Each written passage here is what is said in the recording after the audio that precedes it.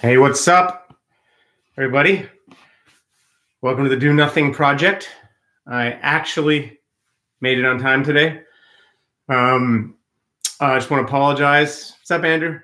Apologize to everybody from last week who came and I didn't show up. I completely forgot. That happens. I apologize. Very embarrassed. I just uh, taught a retreat that day and came home and had all this work to do for 10% happier and totally spaced on it. So uh, we now have a system where I'm getting text messages during the day to remind me of the Do Nothing project. So, um, uh, just trying to build the habit here, and that's something that we're gonna uh, talk a little bit about tonight. So, welcome everybody. Glad you guys are all here. Um, uh, let's see. Um, hmm. So we're gonna meditate obviously. Uh, but I was thinking about something I wanted to talk a little bit about, um, which I don't think I've ever really chatted about. It's sort of, I'm always thinking about practice and what it is and the different ways in which it works. And there's a kind of um, uh, a framework that I've had in my mind for a little while that I thought I would share in the hopes that it's helpful. And it has to do with the scale, the different scales of meditation, the different scales of practice you could um, and how they work in our lives. And when I say different scales, I mean um, when we meditate, I there's kind of like three different scales, time scales in which it's operating. There's the scale of the moment. There's the scale of weeks and months, even years. And then there's the scale of your entire life. And every time you sit down all three of those scales. It's like nested dolls. They're all, in a sense, happening. Um, and each of those scales, now, when you're a meditation teacher and you sit down and you're teaching someone meditation, in my mind, I have all three of those scales in my head. Some some practices you might do, and it only has the scale of the moment in mind. It's trying to shift your state, uh, which you can do fairly quickly. Others uh, don't really care what your state is in the moment. They only have the scale of the whole lifetime. Um, I'm kind of interested in all three of those scales. So I'll unpack a little bit what I mean by that. Um, the scale of the moment is the scale of uh, basically being a DJ of consciousness, a, mind body DJ. It's shifting your state, making yourself from being anxious to a little bit more relaxed, making yourself uh, from being uh, totally blown out to being a little bit more focused, changing yourself from being kind of in a bad mood to being in a more loving, in a good mood. These are really important, actually. Uh, a lot of what I do at 10% Happier on the app is around right doing these little mini meditations that help people who are really struggling with some issue in the moment who need some medicine basically a kind of mind body medicine that can actually shift things for them um, in the moment. So I'll come back to that. Um, the scale of um, weeks and months and years is the scale of habit change. This is what most professional senior teachers are interested in. They're interested in the slow change of habits, and it takes a while. It's like you mind wanders, you come back. Your mind wanders, you come back again and again. You're doing that thing. You're slowly building up this habit of more concentration this is the this is the scale of of, of uh, making substantive changes in our behaviors, in our responses. And this is what's so exciting to me about practice is you can kind of choose, well, what dimensions of my experience do I want to build up and which ones do I want to bring down?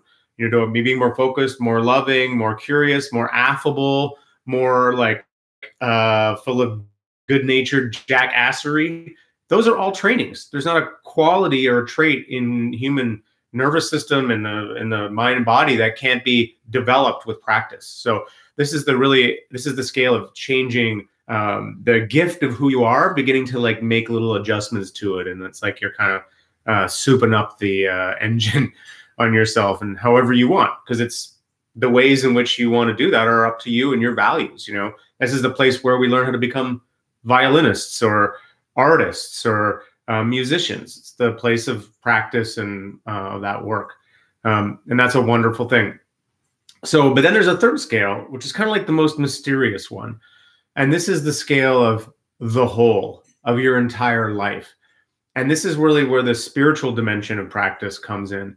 It has to do with, uh, at this deepest level, practice meditation, but not just meditation, meditation, uh, certain movement practices, yoga practices, um, martial arts practices in some ways, um, prayer practices, all contemplative practices.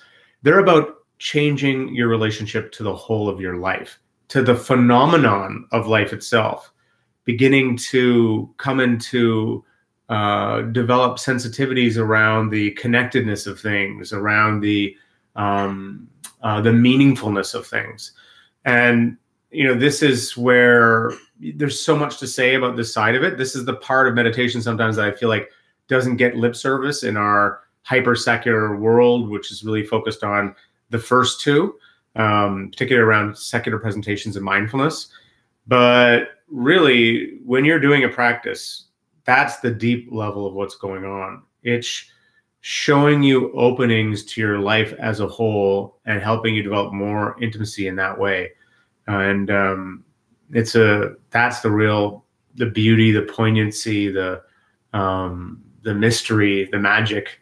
Um, so yeah, so I wanted to say a little bit about that because I, I so when we sit right here, all three of those scales are operating. I am I do try to infuse the practices that I guide with I kind of point them towards the mystery a little bit usually in the way that I talk about equanimity and I talk about this because in all con deep contemplative practices big breakthroughs are almost always always always preceded by a moment of letting go, a moment of things falling away, of you just sort of like letting go of some struggle, some way in which you're trying to control your experience. You let go of that, and it allowed experience then to catch to meet you the other coming from the other way. Um, and so that's that's so I do have that element in the practices I guide. I also always try to bring in the just the the roteness, the good side of the roteness. Like we're doing our our workout here you know, in this case, we're going to work with a meditation called the mountain meditation. So just it's really about this is the scale that practice really happens. It's, it doesn't matter what's going on. If you got lots going on inside, if you don't have a lot going on inside, this is a good day, this is a bad day, still you sit, you take the posture. You're like a mountain. You come back and it's like you're sitting there and it's like the snow falls on the shoulders and it's the, or it's the fall leaves or it's the summer heat and still you sit. Or you're tired or you're hungry or this and still you sit. You're building up this capacity for towards the direction of the whole, which is a direction of happiness independent of conditions. This capacity to be good in all conditions, even if you don't feel good inside, and being okay with that discomfort. So that's really going to be the emphasis of this practice, and that's really that's what meditation teachers say when they say come back to the cushion, okay? And you know you had this exciting thing happen, now go, go back to meditating. You had this really terrible thing happen, go back to meditating. So I really admire that in teachers and respect that.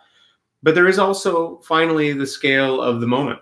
And what the scale of the moment is about is much more about happiness dependent on conditions. It's saying uh, there are certain conditions going on here, and I need to work smart. This is the self care angle and figure out what's going to work for me in this moment. Um, and meditation can work really well for being something that can shift you in the moment from being in a bad mood to a better mood, from being unfocused to more focused, from being blown out to being more grounded. So that definitely can happen. But sometimes meditation doesn't do that. Sometimes meditation, if you're really, really agitated internally and you go to sit down and do, say, a mindfulness practice, it just makes things worse. That can happen. You know, you are your own teacher. You're the one who's got to be tracking that and seeing, do I feel better after this practice or not better? in the long term thing, we hope that you sit down even when you feel good, even if you don't feel good, and you're slowly marching towards better. You can miss days, you can miss weeks, that's okay. But you're slowly in that march, you resume the habit and you slowly go. But in the scale of the moment, it may be that it requires another practice in the moment. Maybe it requires going for a nature walk. Or if you're like me, you got a lot of energy, I got to go run around the block 20 times or whatever it is. I don't have too, I got too much agitation to sit Sometimes I can sit and I'm agitated and it cools out. But you got to be the one doing that test, and nobody else can do it for you. So, um, Okay, shit, that was a ton of information. I was inspired. I don't know why to talk about all that. Um, I hope you guys found it helpful. Uh, now let's meditate. Um, we're going to do, uh, like I said, practice that's called the mountain. Stole this from Jon Kabat-Zinn, although no doubt he stole it from lots of people. It's kind of all over the place. It has to do with the cultivating an attitude of real steadiness, of in a sense that you're going to sit with yourself independent of the conditions. The weather systems are going to change around around you in terms of the distractions, in terms of the inner stuff, but still you're going to sit with poise, with composure, with a sense of completeness. And we're going to bring the mountain into us a little bit. Um, and so all my guidance is invitational. Um, if at any point you just feel way too mm, upset or whatever, I mean, it's like any time with meditation, you got two opportunities that two strategies there. Um, you can focus in or focus out. Focusing in means going right into it, kind of opening to it and exploring it, and it, that opening can help move some of that stuff. Or you can focus away on a different object completely, like your breath or the mountain pose. Or, I mean, focus away also means stop meditating. Um, I just say that because I think it's important that people know uh, that there's different strategies available to us at different times. So it's uh, 812. I'm going to do this guy for about 25 minutes. I'm going to get myself comfortable here. Uh, uh, the mountain pose. My friends, I will see you in 25 minutes. Let's party. And by party, I mean let's close our eyes, try not to fall asleep, and pretend we're mountains. Here's my contemplative reminder, the beginning of silence and meditation. May it take you on three time scales simultaneously into your life. The mountain. We shall begin.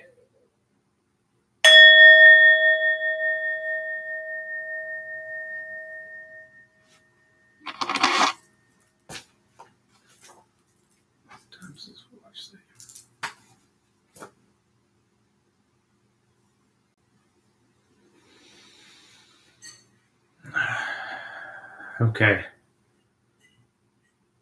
So, first decision eyes open, eyes closed. User's choice. Completely up to you. If having your eyes closed leads you into a lot of daydreaming, you might want to have them open at half mast. If having them open makes you feel too exposed or like you can't relax enough, then consider closing them. Kind of feel it out what works for you. Can start by taking a couple of deep breaths. As you breathe in, sort of stretching up the spine. And as you breathe out, it's the the downward motion, the the settling motion. And as you do this, you can really soften your forehead and your eyes Soften your cheeks and your jaw.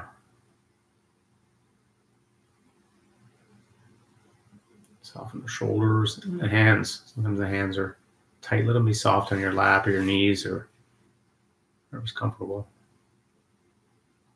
Finally, soften the belly itself. That's right. You're allowed. You don't have to like do the beach body here. You can let the body really relax. Letting the tension go in the belly and the shoulders. So we're working with these two. The upper principle is the alertness, the straight spine, the sort of poise in the posture. You know, they talk about taking the one seat. So can you sit down and find almost a, a kind of dignified upwelling in the way you sit? And we'll work with that more when we get into the mountain. It's like, yeah, I'm proud to be here. Not in a cheesy way, but like a, like a I showed up way. And then the exhale is the downward motion. That's the relaxation. So you're calm and settled, but alert. So riding that line between alert, present, and relatively chilled out.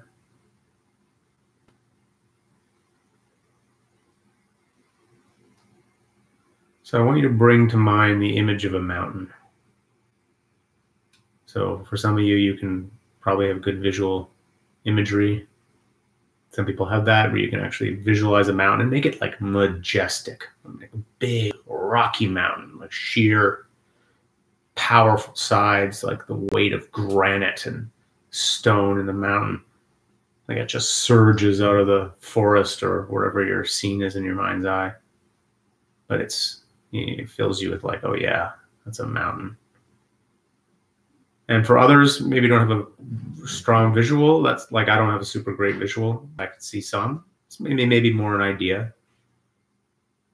But you're kind of visualizing a mountain. You're thinking about a mountain. And just take a few moments here just to kind of check in with the qualities of the mountain. First of all, this uprightness, of course. So it reminds me to keep my spine up. The stillness of the mountain, the strength. So checking with your mountain, that kind of surging out of the mount mantle, that that girdle of stone compacted by you know, it could be a couple billion years. So this thing has got history patience.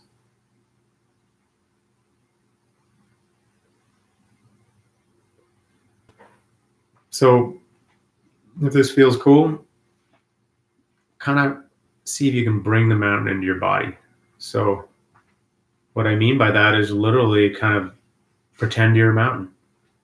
Kind of take that image as an archetype and sort of internalize it it, there's a quality here, almost like you're slowing down your body clock. And you're settling into this old, old, old form, this ancient form, as old as the planet. Nice long out breath. So, in terms of what to pay attention to, there's a few options, and you can kind of choose what works for you. One is you can just be in a more open awareness, where you're aware of things, distractions, sounds, but you're not really bothered with them because you've got this intention to hold this mountain pose, this intention to literally be a mountain. So your main meditation practice is just feeling yourself as a mountain. Every time you forget about it, you just re-remember reset your intention. And you don't really need to be paying attention to more other than that. But for others, you might want an anchor. That could be the feeling of the feet on the ground you're breathing up mineral energy from below you, or the seat on the on the on the chair or the cushion, breathing up like you're girding yourself with that mineral strength, breathing into your form, or maybe the breath, or some other object. In all cases, our intention here is to embody this absolutely still mountain. So try this for a while.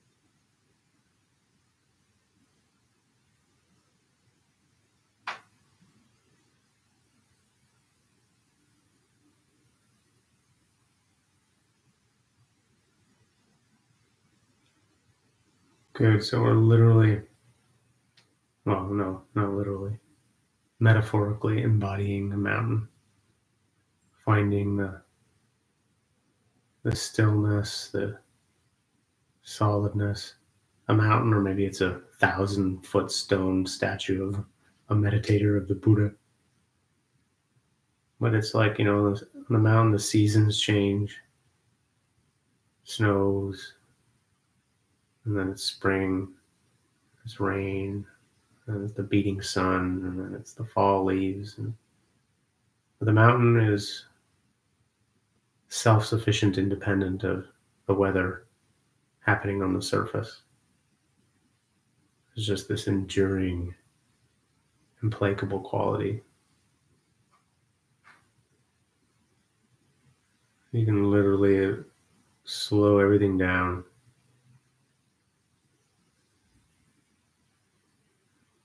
Seeing if we can match something of that timelessness.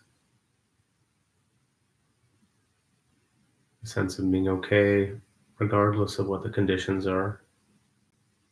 There's this deeper commitment to stay concentrated, building that muscle, staying aware and awake.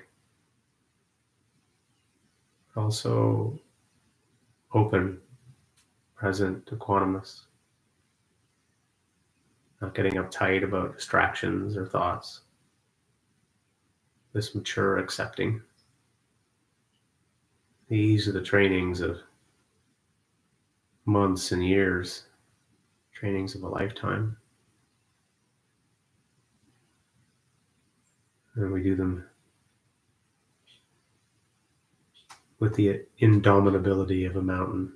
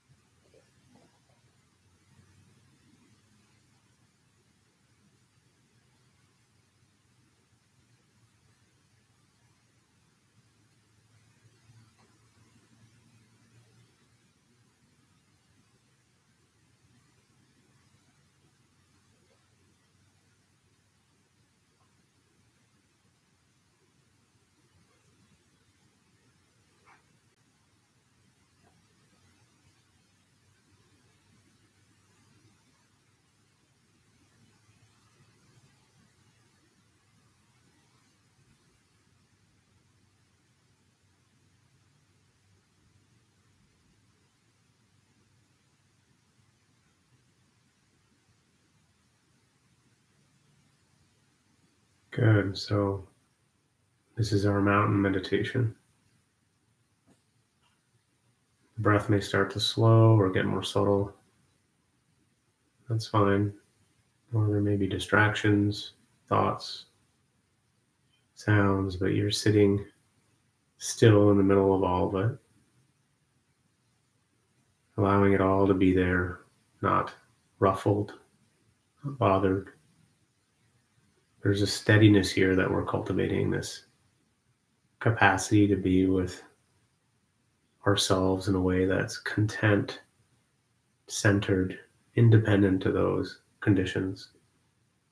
It's a kind of horizon line to aim for. May, we may never totally arrive, but we can definitely build up capacity in that way by doing just what we're doing right now.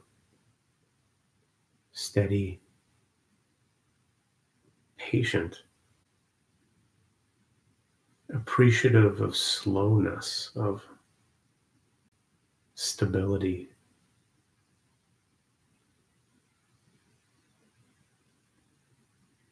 And even if we don't feel that way, the intention is enough. Just holding the direction, holding the container for ourselves to feel whatever we feel. That is the mountain. That's the essence of it. Our willingness to be sometimes with our own discomfort. So keep sitting.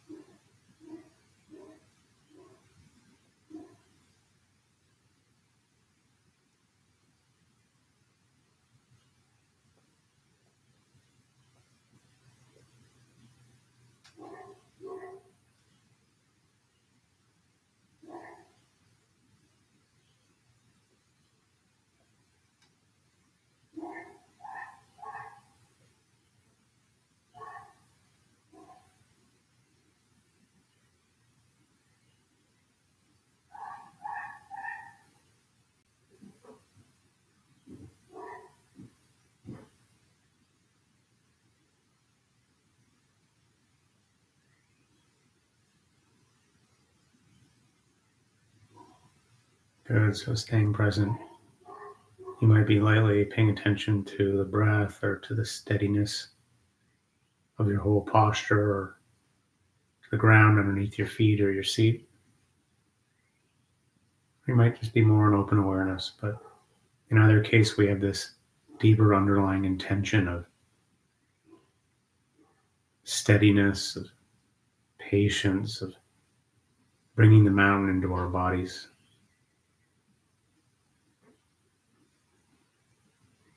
Letting everything slow right down.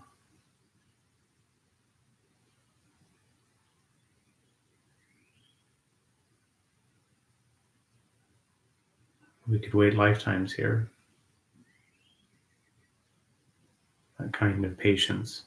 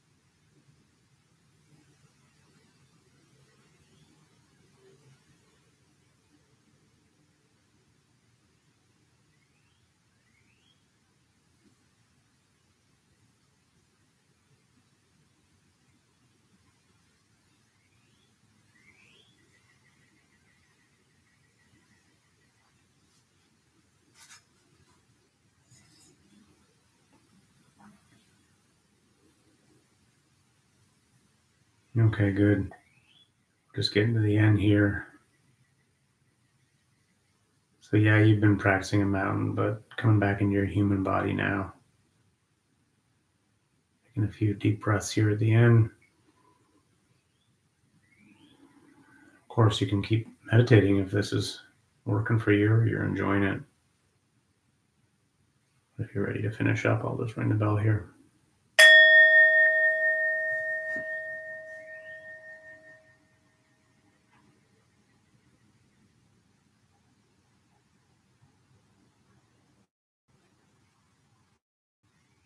Few breaths coming up from the feet.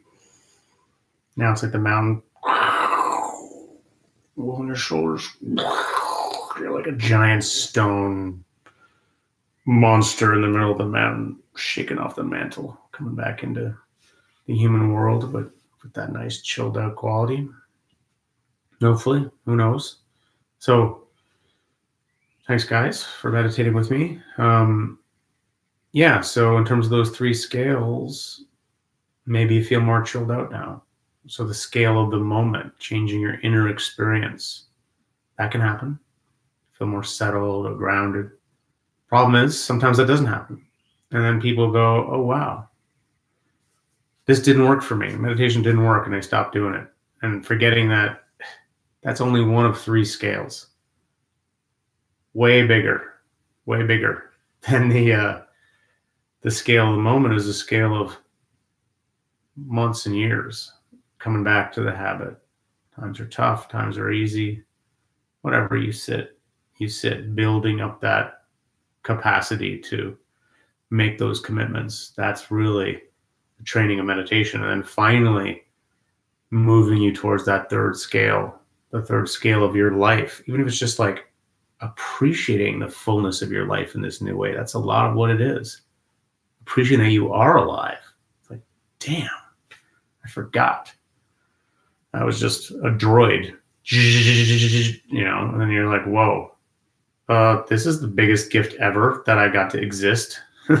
so that's what I mean. Um, calmer, more patient, more patient. Nice, Brenna. So cool to do this with you guys. I love it. it's awesome. I think we hit a thousand subscribers, which is cool. Uh, so it means I can start to use a better my phone to get a better video because this video is crap on my laptop. Also, maybe you guys think I should like make it look nicer. I just do it wherever, but I guess I could think about making it more of like a nice scene with like a Zen thing on it. And this is just my couch. Um, so I thought I'd, I'd answer a couple questions. Um, Okay, didn't quite get the scales this time. Okay, well, you can reread it, uh, or, or you, probably listened to it the first time. Well, um, I, I, explained it okay. I just uh, maybe just say quickly again. Um, I mean, I guess it is a bit of a weird concept. Just that the operational, the the effect of meditation is happening on three different scales. It's happening in the moment, potentially to shift your state from being all excitable to more chill, from being super chill to more energy, if that's the direction you want to go. So different practices are going to do different changes in the moment.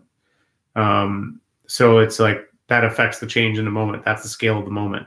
Then there's a scale of months and years, the scale of behavior change, habit change, becoming in general more calmer person, more concentrated, more friendly, to name three very well-known trainings. And then there's finally the scale of your entire life, the whole beginning to appreciate yourself as part of a whole. This is hard to talk about because it's the weird contemplative spiritual thing or like the trippy mystical thing, but it's it's not esoteric. This is like philosophers are interested in this, like physicists are interested in this, naturalists are interested in this. Anybody who's interested, grandmothers are interested in this. It's the scale of feeling a sense of your whole life around you in some way, whatever that means for you. I'm making it very general here.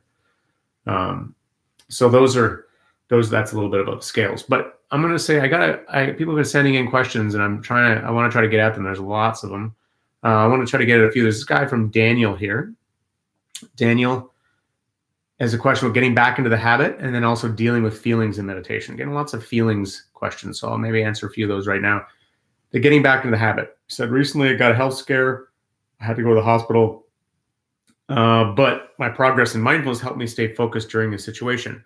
Back at home, unfocused, anxious. Feels like maybe he lost some some of that progress. How would you recommend getting back into the habit and not feeling bad about my lost progress? Well, I mean, hopefully that's self-evident now. The answer to that there is no lost time on the scale of your life, on the scale of even months and years. It's a drop in the bucket. It's like practice is going to go up and down. Sometimes you're going to fall off the wagon. You won't sit for a few weeks, a few months. Who knows? It's like that's going to happen. Or you're there practicing all the time and it's hard one day, easy the next. It's like, and still you sit. There is no wasted time. It's like it's all going towards this big picture. So how do you get back? You go back. You just start and you build back up again. You know, a lot of the gains in meditation, it is like a user to lose it thing. Like you get more and more concentrated, and then you fall off the wagon, your concentration drops a little bit. But there are some shifts in meditation that aren't like that. It's crazy. Insights, things you start to understand, you don't forget those things. You know, you can fall off the wagon all you want, they're going to be with you. So there's a sense in which, you know, that's always getting trained or built towards the big life picture. So that would be my answer to that.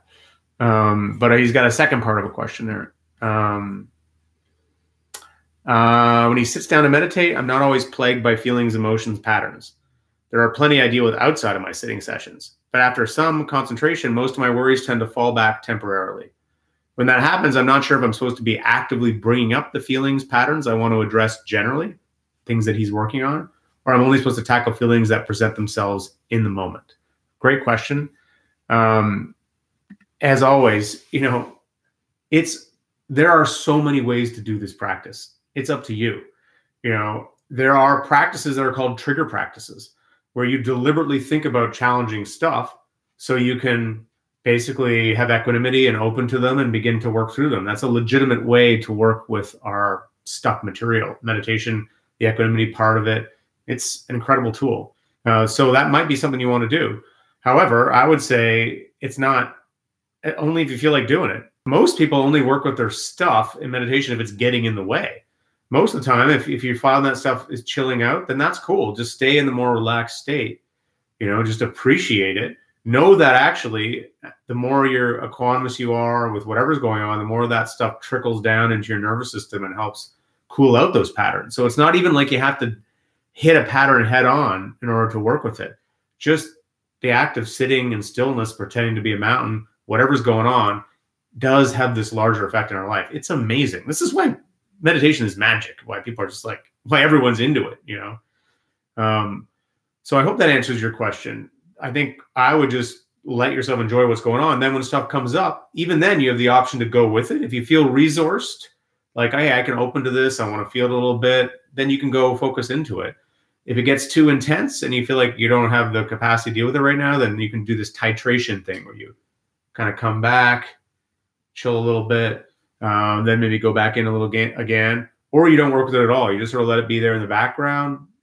and do your main practice, which might be focusing on the breath or whatever. So there's lots of options. It kind of depends on your intention. It depends on opportunity, what's coming up in the moment. I mean, there's no cookie cutter solutions here. This is why it's such a creative thing, practice too. Um, really interested in helping you guys uh, be your own teachers in this sense, beginning to think of this as like, oh yeah, this is part of being a human being, having this responsibility. Um, so let's see. There's another question here about feelings, since feelings are feelings. Everyone has feelings. I have feelings too, and they fuck me up in a huge way. I hate feelings sometimes. I think I'm going to do a whole uh, post at some point about state specific knowledge and feelings. How, when you're in a strong mood, it feels like this is fate everything is screwed and always will be and always has been, you know, when you're in that mood. And then it passes and you're like, oh, that was weird. But it's in the moment, the feeling is like utterly, it's like it's always going to be there. Same with the, the, the mania. Same with the whatever it is. You know, I'm a, I'm a specialist of mood disorders here from the inside. So I will talk more about that. But okay, here's one dealing with strong emotions in life and in practice. This is from uh, M. MK um, first initial M, last initial K. Uh, so she says there's two pieces of advice I'd like to reconcile or better integrate. One is from one of your guided meditations on 10%, simply staying open, where you say, notice your contraction tightness, relax kind of behind it, stay open. So this is more of an open awareness type advice, uh, open awareness instruction that I gave. And the second is from Joseph Goldstein, a uh, far better meditation teacher than me with far more experience, a luminary. She's not saying this. I'm saying this in the world of, uh, of uh, Western Buddhist practice. Anyway, he says um, he has one called Opening to Strong Emotions, where he does a simple noting practice. Oh, anger. Noticing anger. Oh, fear. So noticing the emotion and noting it.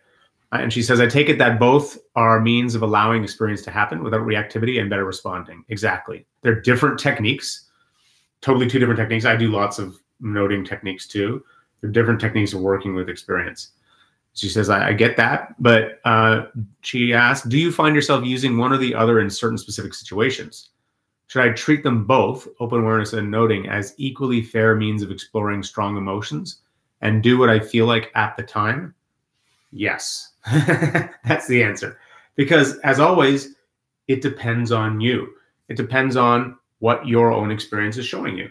Some people find that an open awareness practice is all the practice they ever need to do. They just sit, they open, they close their eyes or they're, they're open and they're just sort of in a more open practice. They're just aware of what's happening, but they're not really trying to anchor in on any one thing.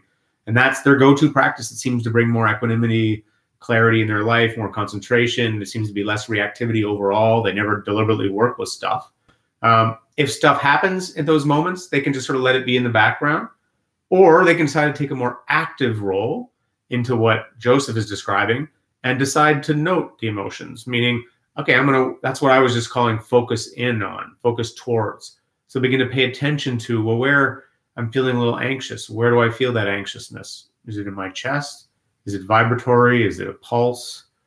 Is there images and is there talk?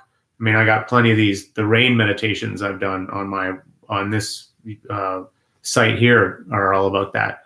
But basically, kind of like you're like a private investigator, feeling it out, opening to it, learning how to be with the discomfort of it. And basically, these emotional reactions they tend to look like a bell curve. They kind of might get more intense as you open to them, but if we can stay with it, then they can kind of cool out there can be this immense satisfaction of wow i just sat through this deeply challenging feeling and i stayed with it and i let it be there in this very mature caring way. And it sort of seemed to work itself out and now i'm on the other side of it. So that's a wonderful thing. And sometimes it does that. Sometimes it's like hey, you're going up the curve and you're like no too much. And you back off. Let it happen another way. There's no rush. So um, so the answer to that is that uh, both of those, it's kind of like what works for you as a strategy. If you're if you are interested in working with emotions, then you can work more directly with that noting one, uh, or you can kind of work with them indirectly, like that. You'll have to just do the experiment and see which one works for you. Some people find that the more open awareness practice is just more effective uh, because it's too intense to go into. You know that can happen. But if you feel like you got the resources and it's helpful, it's helpful, then you can do that.